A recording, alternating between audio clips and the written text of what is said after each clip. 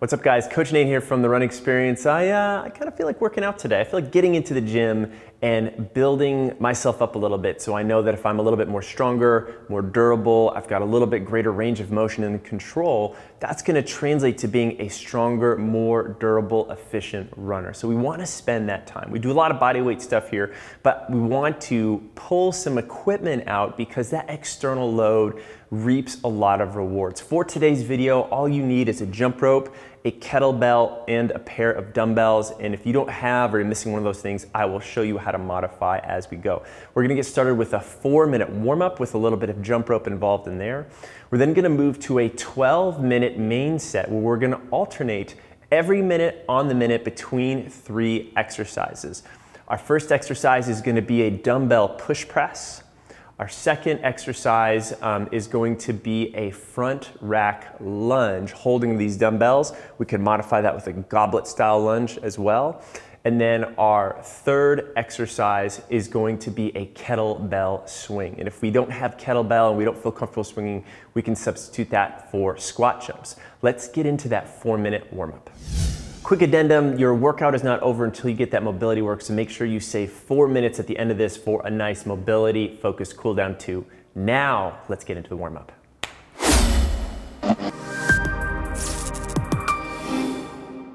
So let's get started with a four minute uh, warm up. The first two minutes is going to be jump roping, starting in about five seconds here. If you don't have a jump rope, you can jog in place or get on a treadmill or a rower. Here we go. Now, I love jump rope because it's just a nice way to practice some of our running positions where I'm aligned. I'm figuring out how to get those rope underneath my feet. And you'll see here as I jump rope, my elbows are tucked in by my side, my knees are soft, my shoulders relaxed, and I'm trying to let my heels kiss the ground every single time I land. Notice I could jump on my toes the whole time, but that's a pretty expensive way to jump, and I'll notice that I'm having to breathe a little harder, and that's the next thing is take some nice deep breaths as I go. So for this first minute, we're just gonna try to practice this. And if you need to get that little extra double jump in, you can do that too as a nice way to keep things focused. Now, for this next minute, we're going to practice alternating our feet a little bit. Can I practice jumping one or two times on each foot? And I love this as a supplemental drill to strengthen my feet my calves, my Achilles. As you can tell, I'm a little rusty. Keeping my hands in by my side. And then I could get like a little boxer style skip here. Another 30 seconds. Working my way through. If I really want to get real fancy, try some crossovers just for fun, give yourself a big hug each time. And whew, back to regular running. There we go. Eight more seconds. Get you warmed up real quick. Nice, so we're gonna put our jump rope down to the side. We're gonna pull one knee up to our chest. Just gonna warm this ankle up with a few circles one way, a few circles the other way. Then we're gonna extend this leg. We're gonna get a couple leg swings. If you need a break, you need to stop and rewatch something, you can always pause this video and go right back to it. But I'm gonna get five to 10 leg swings. Good. This leg's gonna swing back into reverse lunge. This is gonna be important for the lunges we're gonna do a little bit later today. We are gonna step back. I'm gonna kick up again, three times. Last one, good through here, and then I'm just gonna stand up tall. Do the same thing on the other side. Post up here. And as I post up, I'm just warming up that balance of that right ankle. It's having to stabilize a little bit. Three circles each way. I'm gonna extend this leg, I'm gonna get some leg swings. Abs are on, kicking this leg back behind me. Good. Getting about five to 10 of these. Just warming ourselves up here with those legs. Then kicking up, Swinging back in that reverse lunge, drop down, kick up. Notice as I step back, I'm stepping back far enough so this front shin's nice and vertical. Key thing, I'm making sure that I'm not stepping too shallow, letting this knee go way forward. And once I have those three, I'm gonna take the final 30 seconds, walk out into a plank, squeeze that belly and butt, hold this position, push back into down dog, pedal out those feet. If I'm gonna come forward, do a push up, push back, come forward again. If I need to, I can press up from my knees and come back here. We're just gonna do a couple more just to take it all the way to the end of the two minutes. Five seconds. Beautiful. Now let's get ourselves ready for our main set. Every minute on the minute for 12 minutes, we're gonna alternate through three exercises, which means that you're gonna see each of these three exercises four times. My goal is to work for about half of the minute, plus or minus 30 seconds, giving me some recovery in between. If you're newer, do fewer number of reps. If you're feeling more experienced or the weight's a little bit on the lighter side, you can do higher reps too. To get things started off with the push presses, I'm gonna shoot for, uh, you know, like eight to 10 reps for this thing. So I'm gonna get my cl uh, clock started. 10 second countdown. Go.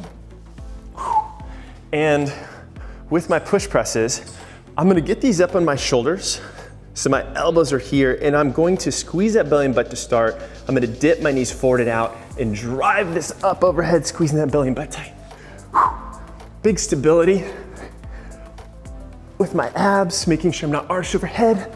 Five, six, showing you straight on eight. You can see that I'm really using my hips to drive this weight up. Nice work. So I have about 30 seconds rest. Shake out the shoulders till I get to the lunges. Breathing my way through. Now with the lunges, I wanna shoot for at least 10 total, five per leg. I might go upwards of 16. We'll see what happens in about 10 seconds. And again, I'm gonna try to hold these dumbbells in the same place up here. If this feels a little bit too much, I can hold goblet squat, which means I'm gonna hold one dumbbell between my arms. So from here, get these up here, and I'm just gonna step back, forward, squeeze that butt tight on top. Notice I'm seeing that a lot.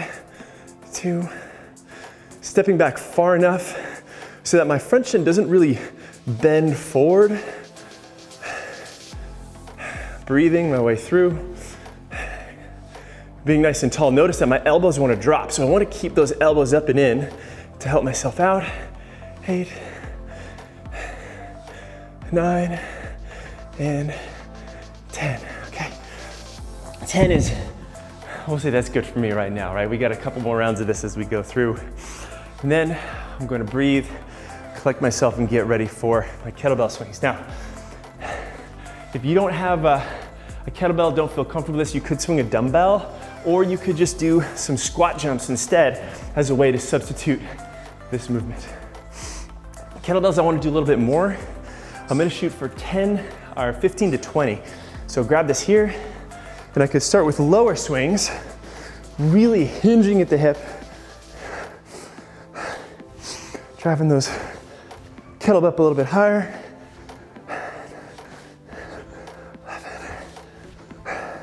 Squeezing that belly butt tight on top. Making sure I'm not arching. More. 18, two more. 19, and 20. Nice work. So, breathing a little bit higher on that one, really making sure I'm hinging, not letting my knees bend too much. Abs are on, so I protect my low back. Back to push presses. In about 10 seconds, you can see not a lot of rest here. This is kind of a dense workout, but kind of fun to do when you don't have a lot of time. Lift these up here. Here we go, 10 again. Keeping these elbows forward all the time. Notice that I'm keeping these dumbbells north-south as well. That's just a better shoulder position. Two more. Last one, 10. Now, as runners, we don't necessarily have super strong upper bodies, but just going in this position is so important because it forces us to be a little bit more open through our thoracic spine and have a little bit greater range of motion to our shoulder. If we're super stiff here, this is really hard, and that might be you a little bit. So take your time with this. Warm up with a PVC pipe a little bit as you get moving. Okay. 10 seconds to my lunges. Oh man, only in round two. Here we go.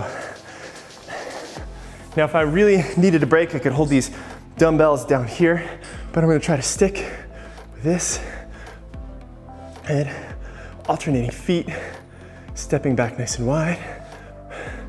Good. Showing you facing forward. Elbows up and in. Six, seven, eight. Trying to breathe.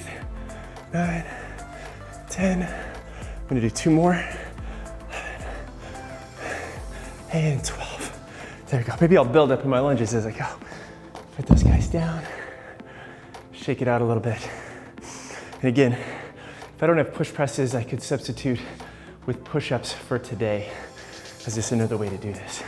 But so valuable to get overhead with those push presses too. Here we go. Back to our kettlebell. Now, another set of 20. Now, good way to challenge yourself with kettlebell if I have only one weight is that I can start to swing this a little bit higher overhead. If I start to swing a little bit higher, I have to work a little bit harder with those hips. My shoulders have to pull back a little bit more.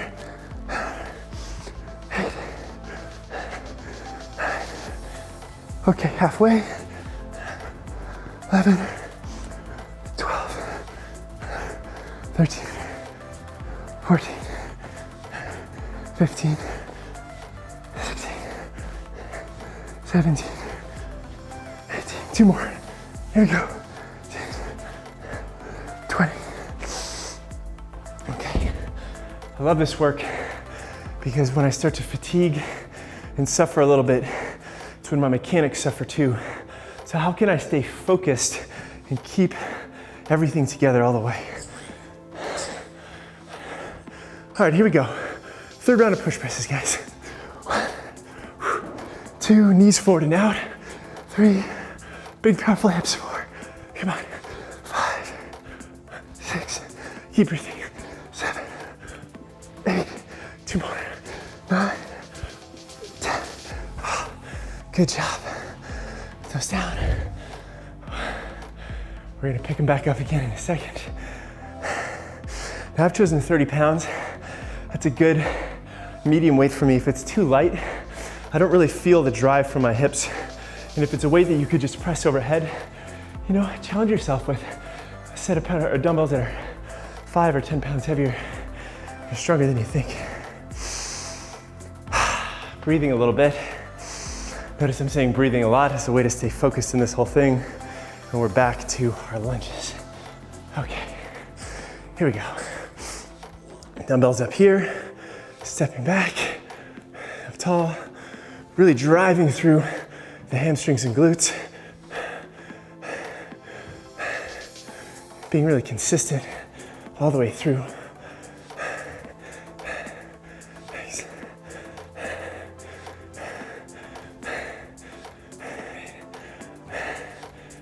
Nine, ten, two more. Here we go.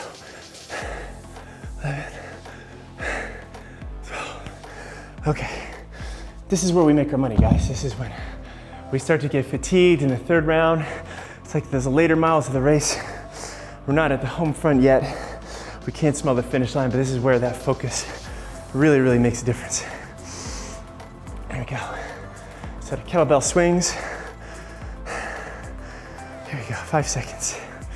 Make sure that kettlebell is right underneath you. You pick that up with a nice flat back all the way through. Here we go all the way up to 22. Three, four, five, here we go.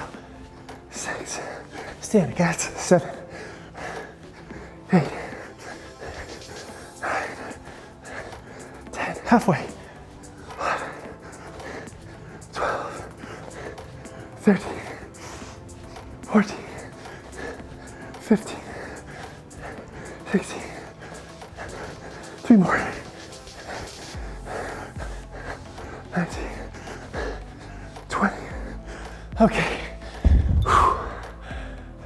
Breathe a little harder.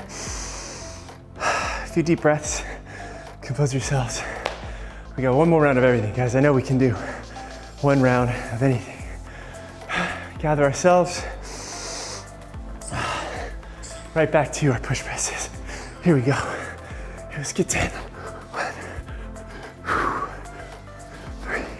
Abs are on. Butt squeeze tight on top. Biceps up in your ears. Come on.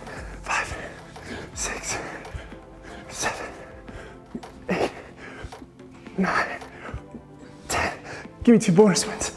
11, 12. There we go. Whew. Keep wanting to put those dumbbells away. I keep forgetting I need them for my lunges. The next set.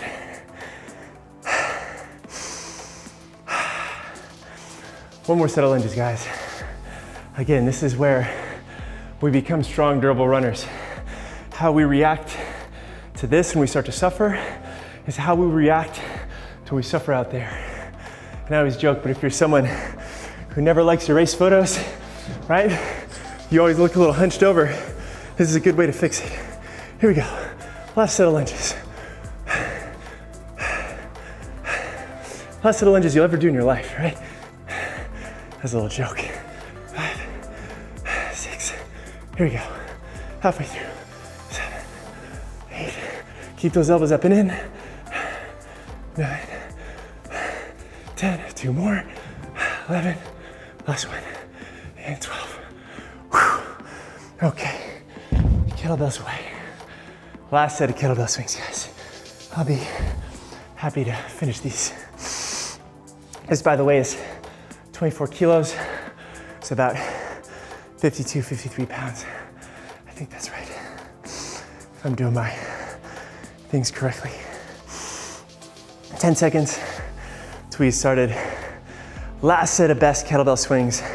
Can our last kettlebell swing look as beautiful as the first one? Here we go. One, three. If you feel like you're losing it, go for a lower swing. Five, six, seven. Don't let those knees bend too much forward. Eight, nine, ten. Ten more.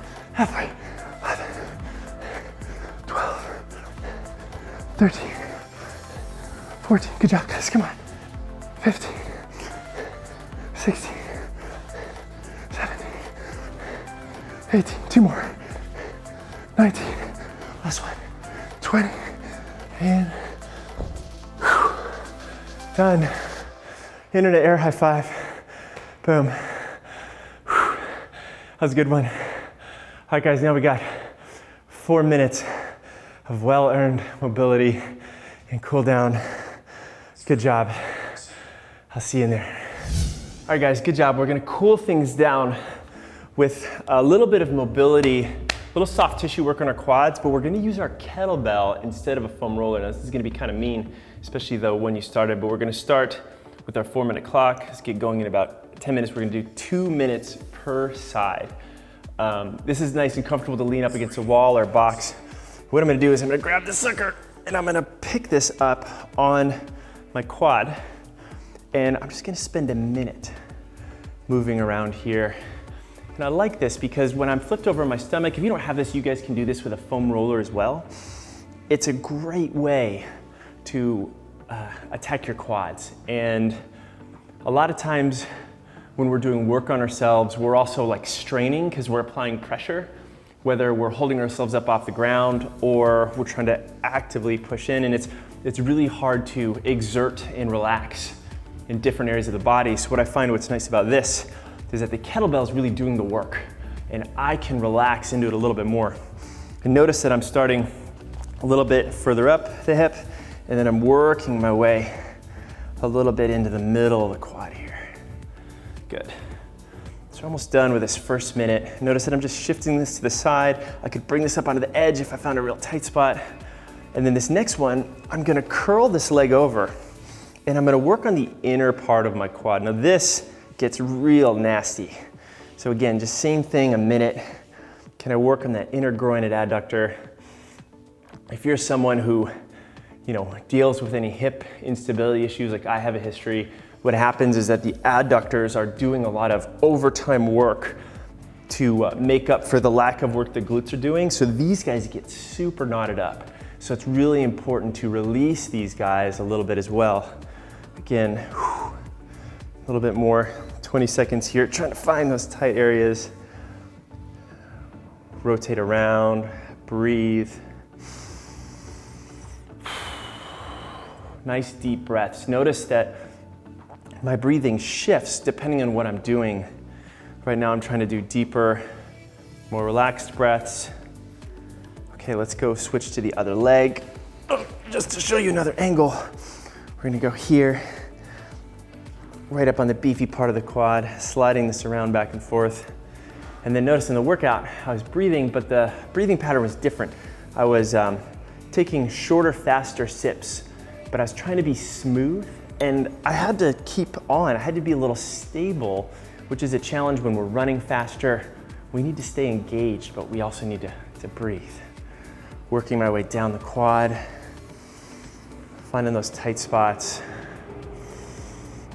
Yeah, four minutes is a while, right? It's not something you can just kind of choke out of or jump out of real quick. Getting all the way through.